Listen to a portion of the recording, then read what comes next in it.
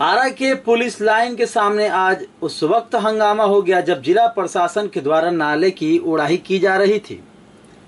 शहर के police line से चंदवा तक की सड़क आए दिन दुर्घटनाओं का गवाह बनती जा रही है, जहाँ थोड़ी सी बारिश होते ही सड़क नदी बन जाती है।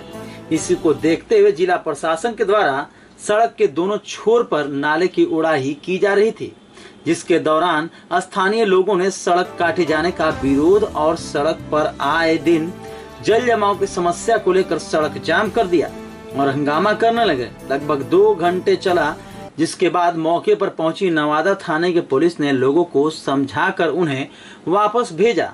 इलाके के लोगों ने जिला प्रशासन पर आरोप लगाया है कि मोहल्ले के हर गली का रोड काट दिया गया है, जिसके कारण आने जाने में लोगों को काफ़ी परेशानियों का सामना करना पड़ रहा है।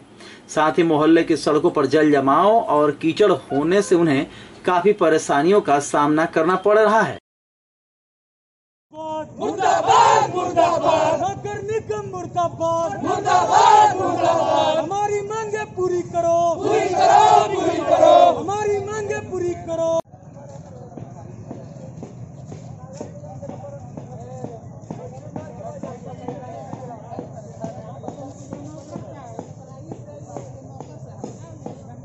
हम लोग जाम करने का मेन कारण ये है कि ये जो आज से सात दिन पहले जितने प्रशासन के प्रशासनिक लोग आए थे यहाँ पर और बोले कि हम लोग नाला ऑलरेडी खुदवा दे रहे हैं, आपका सात दिन के अंदर हम लोग जाने का व्यवस्था हर मोहल्ला में करेंगे। समुच्चा जो मोहल्ला का रोड है, सबको काटा गया है।